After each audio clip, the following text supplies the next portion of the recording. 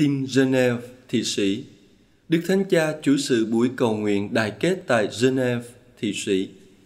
Đức Thánh Cha kêu gọi các tín hữu Kitô hãy tiến bước trong thần khí, loại bỏ sự tìm kiếm tư lợi và chân thành dấn thân trên con đường tiến về hiệp nhất. Ngài đưa ra lời kêu gọi trên đây trong bài suy niệm tại buổi cầu nguyện đại kết tại nguyện đường trụ sở Hội đồng Đại kết các giáo hội Kitô ở Geneva, Thụy Sĩ, sáng ngày 21 tháng 6 năm 2018.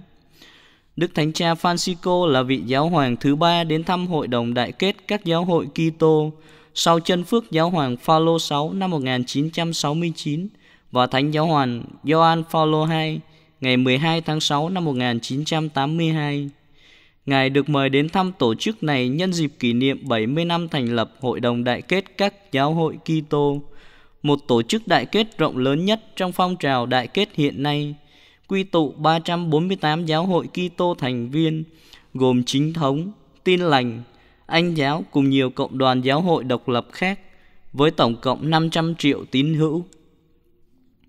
Trong bài chia sẻ của mình, Đức Thánh Cha nói, sau bao nhiêu năm dấn thân đại kết, trong năm kỷ niệm 70 năm thành lập hội đồng đại kết này, chúng ta hãy cầu xin Thánh Linh củng cố bước đường của chúng ta, khựng lại trước những khác biệt còn tồn động. Đó là điều quá dễ dàng. Quá nhiều khi chúng ta bị chặn lại ngay từ lúc mới khởi hành, vì bị suy nhược do thái độ bi quan. Ước gì những cách biệt không phải là cái cớ để tự bào chữa, và ngay bây giờ chúng ta có thể tiến bước theo thần khí, cầu nguyện, loan báo tin mừng, cùng nhau phục vụ. Đó là điều có thể làm và rất đẹp lòng Chúa. Cùng nhau tiến bước, cầu nguyện, làm việc chung với nhau. Đó là con đường tốt nhất của chúng ta.